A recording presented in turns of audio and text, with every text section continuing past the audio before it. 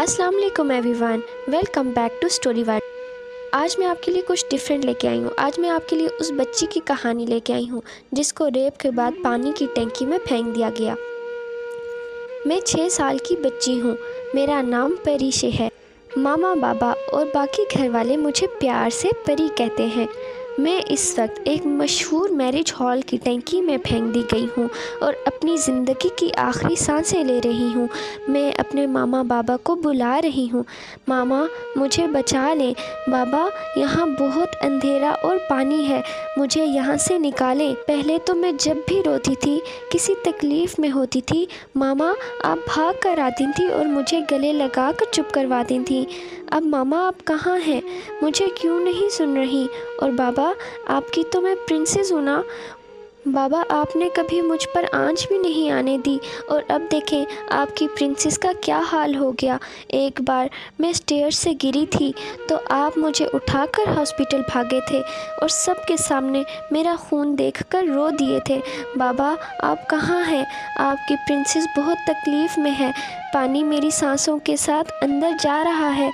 आपकी प्रिंसेस का दम घुट रहा है। जल्दी आएँ बाबा। कितने प्यार से मामा ने मेरे लिए ये पिंक फेरी फ्रॉक बनवाया था।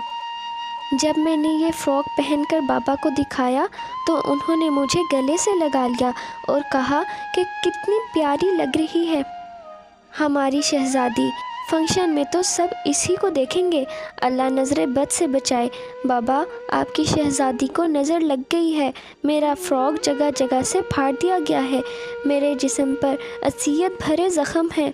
सब लोग मुझे नहीं देख रहे थे, बाबा। मामा, बाबा, आप भी फ़ंक्शन में आते साथ ही बिज़ी हो गए थे। मैं अपने कज़न्स के साथ खेलने लगी और हॉल के पीछे एक रूम में जाकर छुप गई। इतने में किसी ने मेरे मुँह पर हाथ रखा। और मुझे उठा कर ले गया। मामा, आपने पॉलर वाली आंटी से जो मेरा हेयर स्टाइल बनवाया था, वो भी ख़राब हो गया है। वो दो बंदे थे, जिन्होंने मेरा ये हाल किया है और मुझे उठाकर पानी की टंकी में फेंक दिया है। मैं आपका इंतज़ार कर रही हूँ।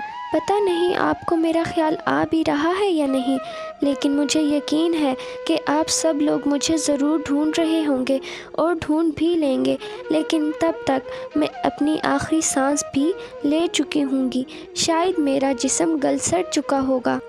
मैं सोच रही हूँ कि मैं अल्लाह के पास जाकर किसकी शिकायत करूँगी? उनकी जिन्होंने मेरे साथ ज़्यादती कर कर मुझे टंकी में फेंक दिया, या मामा, बाबा और बाकी घर वालों की, जो शादी में आते साथ मेरा ख्याल करना भूल गए, या होटल के इंतज़ामिया की शिकायत करूँगी, जो अपने आने वाले कस्टमर्स का ख्याल नहीं रख सके थे, या ख़ुद को कसूरवार ठहराऊँ, जो कज़न्स के साथ खेलते हुए दो दरिंदों के जाल में फंस गई। अल्लाह ताला किसको सज़ा देंगे? मेरी आँखें बंद हो रही हैं। मामा बाबा, मैं आपका इंतज़ार कर रही हूँ। मुझे बचा लें। प्लीज़, मुझे बचा लें।